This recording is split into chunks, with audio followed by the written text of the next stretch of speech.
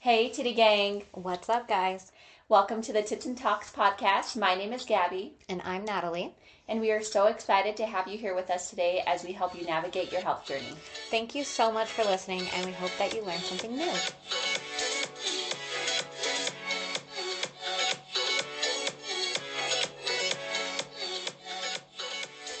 Hi, everyone. Welcome back to another episode. Hello.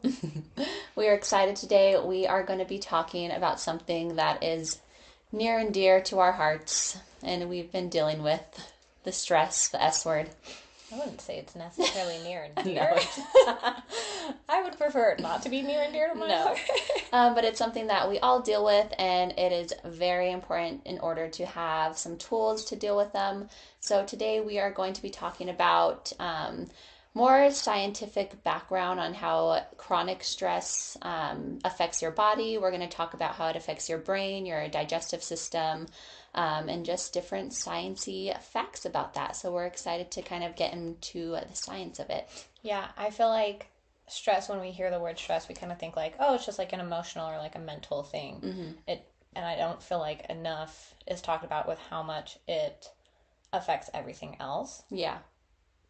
Um, and so I think kind of diving into like how Gabby said, like how it affects the brain specifically, that the digestive system, pain tolerance, immune system, all that stuff. Mm-hmm. Hopefully, this episode helps show you guys just like how encompassing stress is and how mm-hmm. harmful it can be to the body and why it's important to try and manage Yeah. stress and prevent it. And I think it's it's not to make you more stressed knowing about what's going on in your body with the chronic stress, but it's helpful to be more educated on it and also um, develop tools that work for you in order to manage what's going on in your life. So I'm going to start off by talking about how chronic stress um, affects your brain. Um, and I am a big nerd. I love the brain. I am uh, doing neuro right now in PT school. So we've been learning about all the different lobes and all the different functions within the brain. So I can nerd out on this all day. But Get um, nerdy. we're gonna get nerdy. Alrighty, so um, with chronic stress, and it, this isn't just stress that we kind of feel on an everyday basis, right? Um, on an everyday basis, we may have stress that is with family stress or just with your job, like not those types of stress, but that chronic stress. If you don't have um, efficient ways to deal with your stress and you're stressed every single day for weeks and weeks on end, this is um, things that can happen to your brain. So, with chronic stress, it will affect the prefrontal cortex as well as the limbic system. So, um, prefrontal cortex, what's responsible in this lobe of your brain is like your behavior, um, those complex thinking skills, um, your personality, and things like that. And then in the limbic system, this is more um, of an emotional response. So, this is like your fear, emotion, hunger, um, your like sex drive, and things like that. Um, so, whenever these are affected by chronic stress, what can happen is you, and you probably know this whenever you are stressed, you kind of get more irritable. So, Yep. so everything is kind of on that amplified system.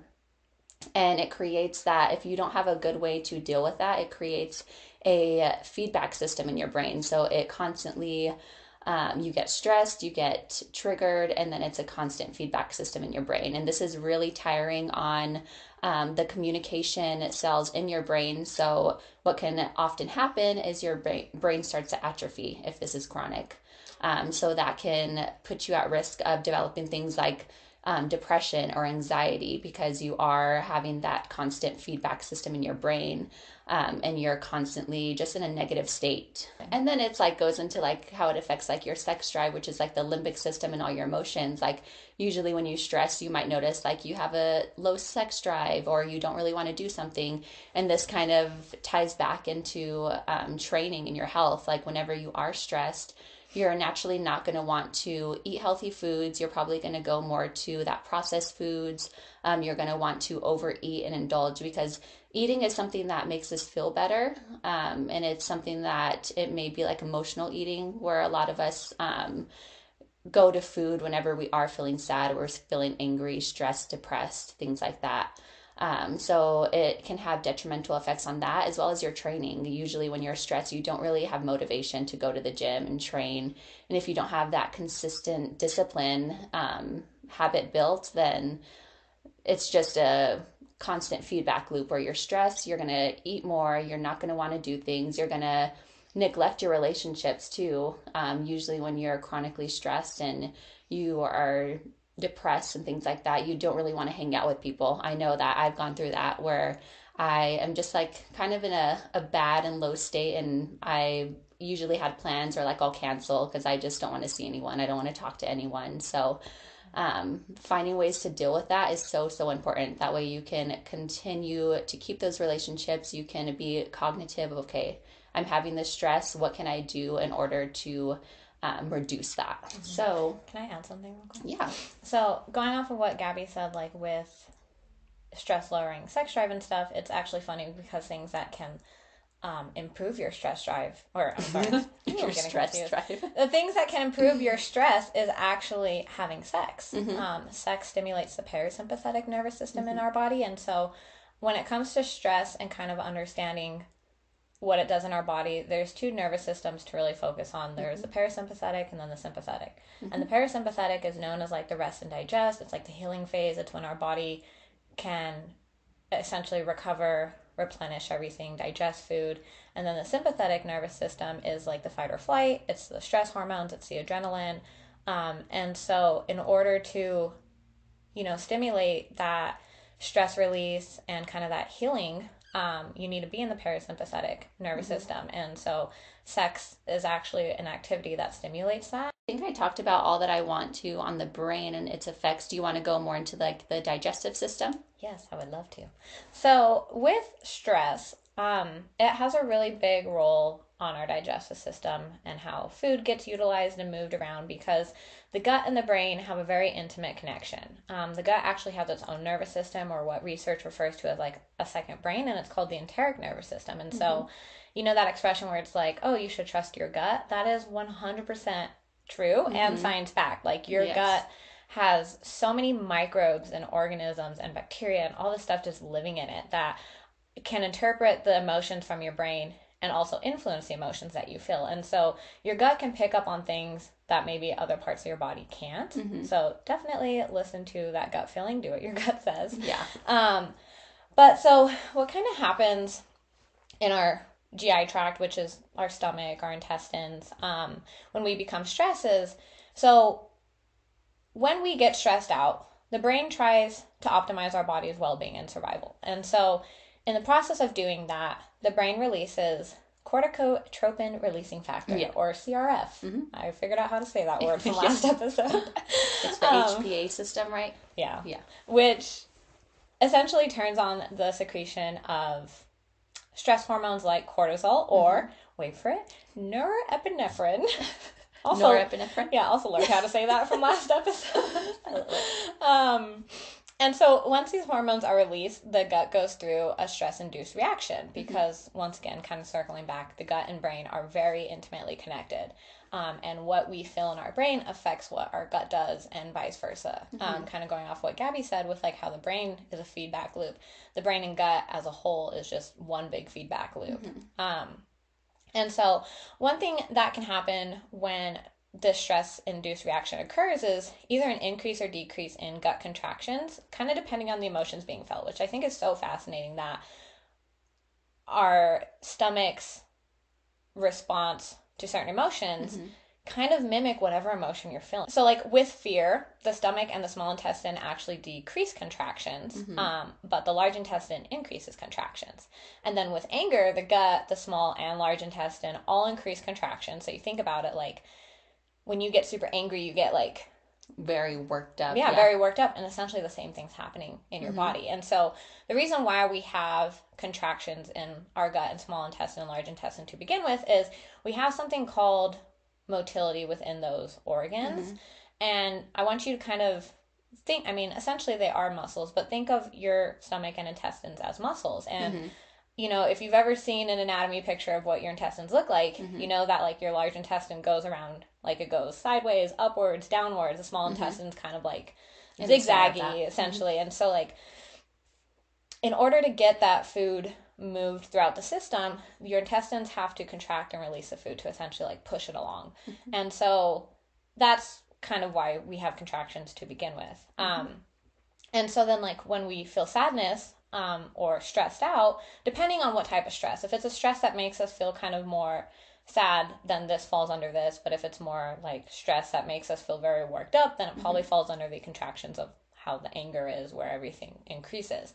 Um, but with sadness, um, the gut and the small and large intestine, all the contractions decrease, and your food essentially just kind of like sits there. Yeah. So, to kind of help make this a little bit of like a better picture, let's say you had eggs for breakfast and and you're driving to work and someone cuts you off and you get road rage and you become angry. So you're sitting there and your stomach begins aggressively contracting with the increased production of stomach acid actually slow down like emptying out of the stomach. Um, and then while you're like sitting there fuming, pissed off, having road rage, your intestines like twist it up and they also spit out mucus and other digestive juices into your system, which yeah. they're not supposed to be there. So yeah. like it's you know, it's not gonna feel very good. That's why mm-hmm. we sometimes get stomach aches when like we're super angry or things like that. Um and then let's say on the opposite spectrum, like you eat your eggs for breakfast and you're on, a way, on your way to work and you get stuck in traffic and you become stressed out about being late and now mm-hmm. you're nervous and you're feeling upset well then your intestines hardly move at all and your eggs just kind of sit there not being digested your eggs are like damn man. Yeah they're just hanging out in the stomach like i bought a ticket to the uh, large intestine. Why why are we still sitting here? And so essentially like your gut mirrors every emotion that your brain feels. And so like with my business and how i coach women you know a lot of times women have and men too but like mm-hmm. i work with women so that's why i'm saying women but like yeah the women that i work with a lot of them and myself included don't have the greatest relationship with food and we mm-hmm. tend to feel like guilt around certain foods or stressed out about eating more or things like that mm-hmm. and i mm-hmm. always tell them like look there is no good or bad food like there may be ingredients that are kind of harmful to our body or our body mm-hmm. may not know like what not to use nutritious. it yeah or not as nutritious or like um, and so the time the only time that food becomes bad is when we tell ourselves like oh what i just ate is bad mm-hmm. because like let's say going back to the eggs let's say you had eggs for breakfast and you ate it and you're like wow that was really good that was yummy i'm glad that i feel my body i'm just going to move on with my day well then your gut's ability to do everything that it's supposed to do is going to be so much more efficient you're going to absorb more nutrients you have mm-hmm. a less mm-hmm. likely chance of like that food being stored as energy. And your body's just your body is so smart and it knows mm-hmm. what to do. But then if our brain starts getting in the way of it if like let's say you know i don't know gabby think of what you yeah. what is a bad food in like your opinion? I know you don't think food is bad but yeah. like, what? Um i don't know. Uh, let's just say like let's say like donuts. Okay so let's say instead of having eggs for breakfast you have a donut. Yeah. it's kind of the same thing like is that the most nutritious? No are you mm-hmm. are you providing your body with a lot of protein early in the morning? No. But at the same time, there's still nutrients within that donut that your body mm-hmm. can absorb. And so if you just kind of have that donut and just be like, wow, that was really good. I enjoyed that. That was a nice way to start my to start my day, I guess. Um, and just kind of having that awareness of like because that pro or that donut is a little low in protein, just being mindful of like, all right, so my snack and lunch and dinner, I really mm-hmm. should prioritize protein because mm-hmm. I chose to have something that has very minimal protein for yeah. breakfast. That should be like the extent of the conversation in your brain about that food. But if we have that donut for breakfast and we're like, oh man, like I shouldn't have done that, like that that's a lot of sugar, that's a lot of carbs, like that's gonna make me fat. Well, all those things that you're thinking in your brain then get translated to your gut. Mm-hmm. And then your gut starts feeling that and it's like, well, if this is stressing the human out, like the human. The human. Like if your gut's talking to yeah. you. if your gut's like, well, our human is stressed out about this, like then the sympathetic nervous system comes into play and it kind of starts implementing that stress response. Mm-hmm. And so once again, whenever we go into our sympathetic nervous system, whether it's because there's like an actual physical threat mm-hmm. trying to hurt us or it's an internal perceived threat, our body still deals with it essentially the same way. Yeah. Our system works in a very conservative subtractive way and so like if you're super stressed out um, or if someone's trying to like attack you or something like that, your body goes into the sympathetic nervous system and starts trying to figuring out like, okay, what systems can we stop right now so that we can take energy from it to fight off whatever the threat is. Um, you know, our body's number one thing every day is survival. It mm-hmm. wants us to live, it wants us to keep going. And so, in order to survive a threat or a stressed out mindset, the body, you know, stimulates those stress hormones, the cortisol and the norepinephrine. and um, and essentially your body's trying to figure out how much energy it needs to take from other systems that aren't vital. So things like your sex hormones, your digestive system, and it's like how much energy can we take from this to go towards whatever the threat is, you know? Mm-hmm. Because if you're trying to run away from someone, you're going to need to utilize a lot more energy. Yeah. But as your body's figuring that out, it kind of just stops all those systems or slows it down. And so you may not think that those thoughts are doing much, but they're actually like stopping your digestive mm-hmm. system. They're messing up with like the gastric juices that help with it. Once again, because there was that delayed response in digestion, like your body may not be able to absorb as many nutrients. It may just after the whole thing may just be like, well, you know what, like we're kind of over this. Let's just kind of keep moving it along and maybe store some more energy. Or even if you utilize more energy in that stress response, you have to refuel that fuel storage that you utilize. So mm-hmm. It's gonna like the food has a, more likely chance of being stored for energy if you're in a stressed out state of mind when you're eating. Mm-hmm. And so just something to keep in mind is that the body cannot heal with a negative or threatened mindset. Yeah. And I don't mean heal in the aspect of like illness or wounds, but like heal it also very, affects that too. I mean on those things, yes, mm-hmm. but like in a very I mean heal in a very encompassing way. Yeah. Like replenishing our muscles after workout is healing. Mm-hmm. Like digestion can be a form of healing. Like yeah. Our body cannot function. Yeah, function if it's in a stressed out negative or threatened mindset, mm-hmm. whether that is from external factors or internal factors. And so just remember that, you know, food really only becomes bad when you start telling yourself that it's bad. If you allow your body to do what it was designed to do, mm-hmm. you're going to get way better outcomes digestive wise, bowel movement wise, nutrient absorption wise, energy wise. And you're also just going to create a healthier relationship with food so that food doesn't control you and your emotions. Yeah.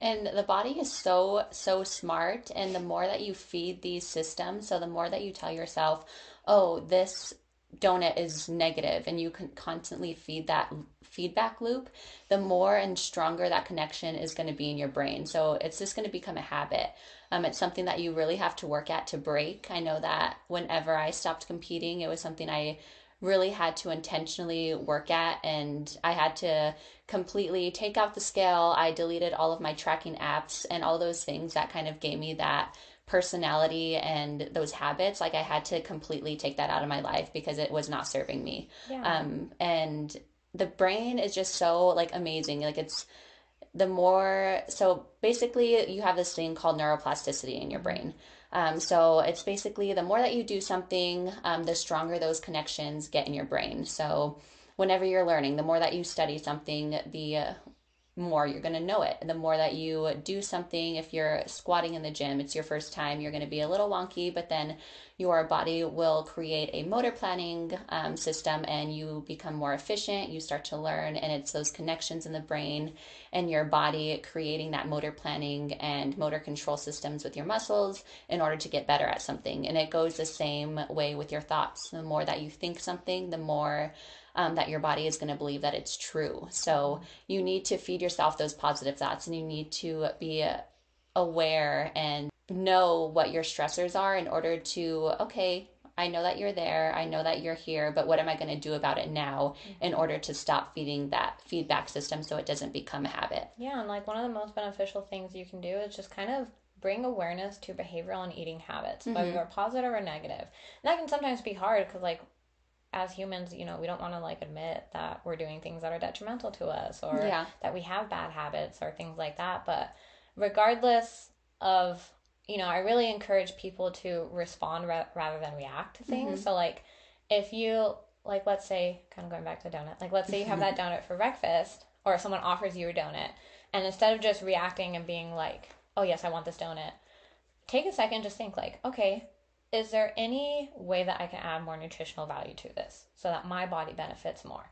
And regardless of what you choose, like regardless if you, you know, choose like um like maybe there's some turkey sausage or something you choose for that or you know or if you're at like dunkin getting a donut also opting for something that has like protein and maybe some more nutrients to it like mm-hmm. regardless of what you choose after that the thing is is you brought awareness to that eating behavior or that behavioral habit and you took a second to essentially think through how this choice would make you feel. Mm-hmm. And so regardless of what you go through afterwards, like what matters is that you took the time to bring awareness to that. Because mm-hmm. once you have awareness around habits that either work really well for you or don't work for you, then it becomes easier to change them or keep progressing with them.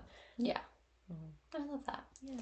Um, going more into the scientific, scientific, scientific, scientific, scientific. I'm just gonna add titties into every yeah. word now. Trademark that. Yeah. so going more into the scientific background of stress, um, it can also affect your immune system. So you might notice too, um, for example, myself, I am very stressed out right now. I have a big exam coming up for PT school. Yeah. The stress that comes from that is um, a lot. so, um, something that I notice when I do have a lot of stress is your immune system drops. So, whenever you do have these chronic stress and you're very, very stressed, um, what releases in your body is called cytokines. And these are like pro inflammatory markers. So, it's basically um, the same thing that your body does whenever you have like a wound or you're injured. Like your body is going to release these cytokines. It um, starts the inflammation process and then it starts the healing process. But whenever you're in this chronic stress, your body is like, something is wrong. So I'm going to release these. Like, we need to help this human out because she, there's something going on with her. Um, so whenever you do release these, it puts your body in a chronic inflammation stage, um, and that can cause things like diseases. So um, whenever you do have chronic stress, you can get things like um, diabetes. So if you are constantly have this release of hormone, and this isn't for everybody, on obviously, um, cortisol is in charge of increasing your blood sugar levels. So um, if you do have chronic stress and you have an increase in your blood sugar levels for an extended period of time, obviously that can lead to things like diabetes. So it's not something with your everyday life. Things like that with chronic stress, you can put your body at higher risk for diseases because your immune system drops um, and all those little those little germies are like mm, it's my time to shine i can get in here easily well also like if you are super going based off what you're saying like if mm-hmm. you're super stressed and stuff um, and you're getting sick when that happens you're actually like getting rid of good bacteria in your gut. Mm-hmm. Um, so our gut bacteria, we have like trillions of microbes mm-hmm. in our mm-hmm. gut, and they sit on like the intestinal border, and they have very close contact to our immune cells because most of our immune cells are made in our gut because of this bacteria. And so, yeah. um, if we are super stressed out and we keep getting sick, and our body keeps attacking our system and trying to rid whatever pathogen is there and stuff, like we can also decrease our biodiversity of like that ecosystem mm-hmm. in our gut and then that just also creates like more opportunity to get sick and you know it's just yeah. this it's this vicious cycle of it's a feedback loop. Yeah, everything in the body the body is so smart that it's like everything works on a feedback loop and it wants to survive. So it's like whenever you feel those emotions it's a constant feedback loop. What can i do in order to help this? But sometimes it's detrimental when it comes to stress and negative thoughts and negative emotions. Um, and yeah. Yeah. That's crazy. Yeah. I feel like I have a really good example mm-hmm. about Ted. Well, yeah, Ted I was going to ask you about that, but I didn't know if you wanted to like no, bring it up. So I, I was care. like, we'll be okay. transparent. So, yeah. um, I started developing about a year ago. I started developing like some skin issues, like eczema and like just some rashes, and I was all, what the frick's going on? Mm-hmm. So I went to my dermatologist, and you know, she just did some testing, to like rule out um like psoriasis and stuff like that and it wasn't she's like yeah it's just eczema and like this type of like rash that comes with viruses or like infections in the body and i was like okay cool like what am i infected with? And she was like i don't know. I'm like all right cool. Um, so then i went to my holistic doctor and we were just kind of figure we were trying to figure things out and he's like yeah so essentially like um, your body's super inflamed like your adrenal gland and your liver aren't detoxifying like your stress well or like the inflammation in your body and we kind of started like backtracking um oh and sorry real quick. He also tested for some other stuff and it turned out that i had a parasite in my large intestine so his name is ted. Um I named who ted him. is. Yeah that's who ted is. I named i named my parasite so that it was you have to name him. more, yeah so it's um, not fun. like so scary. I mean it's, He's it's so not. silly. So we were kind of trying to explore like where i got this parasite. Unfortunately it is very common to pick up parasites um but I told him I was like, yeah, well, I mean, like a few years ago, like I was in Mexico and I drank the tap water there, which apparently Ay, you're not ay. supposed to do. And like I got a lot of GI symptoms. And then like three days later, I left to South Africa and I also had like GI problems there and stuff. And he was like, well, you know, you may have picked it up initially in Mexico. You also may have like picked up a second one in South Africa or So, like hey, buddy, yeah, Ted wanted a friend, Yeah. Ted and Todd. come on.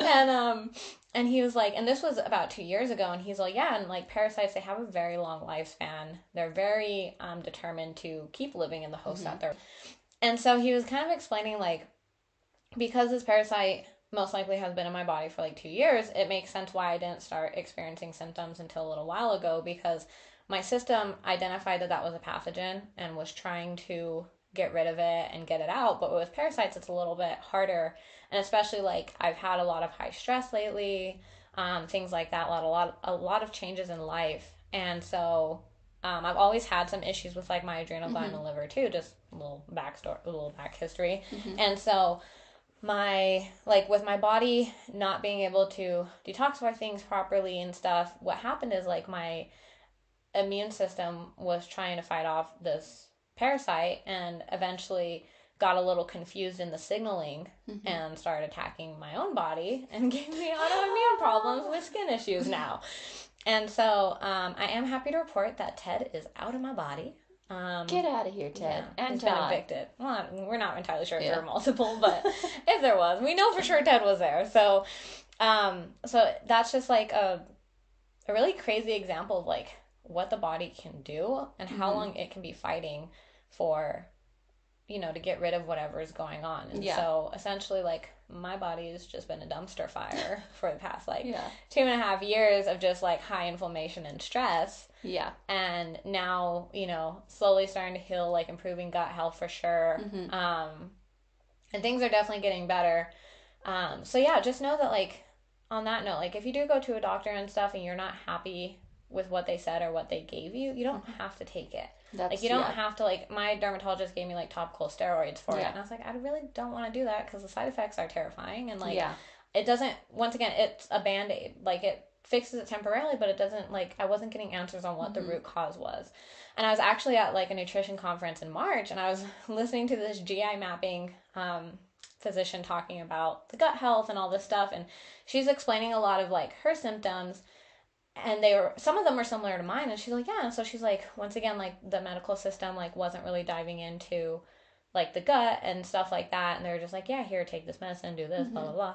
And she was like you know what? No like i wanted to dive more into it. Like i wanted to figure out like what the root cause was. So she got into gi mapping um, and gut health and realized came to the conclusion that she had like multiple parasites and like low Mhm. good bacteria and like high bad bacteria and all this stuff and i was sitting there and i was like huh imagine if i have a parasite. That'd be wild. And then Ted sitting in there, he's like, ted yeah he's just like mm, mm, mm, and so like yeah and then like fast forward a few months when i was told that i was like oh the irony. Yeah. um, Let's talk about things that help us manage this stress and kind of give you guys some tools in your little stress toolbox I can get out and. Screaming. Yeah. screaming No, that actually really does help. Have you ever just scream into a Oh my- pillow and I like scrammed. I scram. I, I scram to my I scrammed into my hands yesterday, like multiple that. times. I was just like, ah, and like poor Harley, she's like, "What the fuck is on going on with my mom?" Sometimes Uh, I'll just do that while I'm driving. Like you just need a good scream and then you're like well, see, this is why I listen to metal music because it does the screaming for me. And actually, if you listen to like a lot of metal lyrics, they're very deep. Like they're Yeah. very poetic. I love that. Yeah, it's very beautiful. Yeah. Like- Well- well, so um, no, but like on a serious note, I mean, screaming does help, but yeah. so some things that I recommend, kind of depending on like what your stress level is and like what you're trying to deal with, but some things that you can do to help like prevent stress. I'm a big believer in stress breathing techniques. Um, so my personal favorite one is box breathing. Um, and it's where you breathe in for a count of four, hold your breath for a count of four, breathe out for a count of four, hold your breath for a count of four. I personally like to pair my box breathing with sun exposure. So I'll Yes. usually do it in the morning, whether it's like when I'm walking Harley or if I'm just like opening up the blinds in my house. If the sun is out, I'll stand there, like not staring at it, but I'll stand thought you were there. gonna say naked. I'll Sun stand there exposure on my box. Um, no, but I'll just kind of stand there and just feel the sun on my skin and just do the box breathing. Yes. Um, and the great thing about utilizing stress breathing techniques is if you're in public and you get stressed out, no one has to know that you're stressed Mhm. because it's just you altering your breathing. Like you don't have to do anything to like warrant attention to yourself if you Yeah. don't want it. So Mhm. there's uh, there's other forms of stress breathing. I mean, diaphragmatic breathing. It's Yeah. kind of the same thing as stress breathing or box breathing. It's where you're really using your diaphragm and you're focusing on the expansion of your chest um, in order to get all that air in your lungs. And then you, they use the saying, um, smell the roses and then blow out the candle. So you're breathing in with your nose and then you're doing a long exhale through your mouth kind of in those pursed lips. Um, so that's another tool that you can utilize as well. Um, and i think something that i like to do is get out of your everyday routine. If you feel like you're constantly stressed like do something that's out of your routine. Go and hang out with a friend. Like i know when i hang out with natalie and like i'm very stressed like i leave and i feel much Worse. better yeah, those are actually like those are planned positives. Yeah. It's like a behavioral um, technique. yeah Um, it, it helps a lot with like depression, things like that. Mhm. But yeah, like look at your schedule and plan something that makes you happy. Go Whether that's hanging out with a friend, Mhm. going on a hike, puzzle, painting, like it's recommended that you reflect back to what you enjoyed when you were a kid and then do that then. So like I loved painting as a kid. yeah And Gabby actually took me to some painting place. Oh, yeah, it's called Art Attack. Oh my god, I felt so I was just so it was so therapeutic And yeah, I'm like, oh, I, I want to take myself back there. So, like, yeah, so the stress breathing is great. If you have more of like an angry stress, go get some cheap glass plates. You can get it from Target or Walmart or wherever. And get big Ziploc baggies. Put the plates in the Ziploc baggies and then smash the shit out of it. Yeah. Like, throw it over your head, like, throw it against stuff. Um, and the reason why I say put it in baggies is so that it's easy cleanup and you're not being a dick leaving broken glass around Yeah. for people to step on. So breaking plates is great. rage room Yeah, those rage also rooms, if you don't want to clean up the mess Yeah, yeah, like the um, axe going can, be Yeah. good too. Um, so all those things of like releasing the energy is great, Yeah. but the only thing is you need to make sure after you release that energy, you fill that energy back up with something positive. So whether Yeah. that's like lighting a candle and breathing, breathing in the scent, or going outside and hanging out in nature, like you need to fill that energy so that that stress just doesn't come back and Mhm. hold occupancy again. Um, some other things that I really like recommending for my clients are these three things. One of it's called brain dumps. The other one is stress jars, and the third one is stress showers. And so, for the brain dumps, essentially what it is is sometimes when we're super stressed or like we have a lot going on, our brain can wake us up throughout the nighttime due to cortisol disruptions and melatonin disruptions from stress. Um, but a lot of times, like, I don't know if you've ever woken up in the middle of the night, you're like, oh yeah, I need to do that tomorrow. And me yeah. every night So you might benefit from brain dumps. I do. And so the brain dump, there's two ways that you can do it, and it's kind of figuring out what works best for you. The first one you can do is kind of journal out all your thoughts and just essentially empty your brain, like word vomit onto the page everything that your brain's feeling. The other thing that you can do, which personally works better for me, is on like a planner or a journal, whatever, you write down just everything that you need to get done tomorrow and everything that you didn't finish today that needs to be moved to tomorrow. So that Mhm. essentially everything that's in your brain is now on the paper that like Yeah. you're holding on to and trying to remember. And then it can also be helpful after you do those brain dumps to just kind of like sit there and tell your brain like, "Hey, like we're not going to forget anything. Like let's just rest now. Like you're good to chill out, you Yeah. know?" And then stress jars, you get a jar or a bag or a container, like just something to hold stuff. And you get some pieces of paper, and on the paper, you write what is causing you stress. You write about why you may feel like it's causing you stress. Um, you can be as detailed or as simple as you want. I mean, it's your stress jar, and then you can fold up the paper, crumple it, whatever, put it in the jar.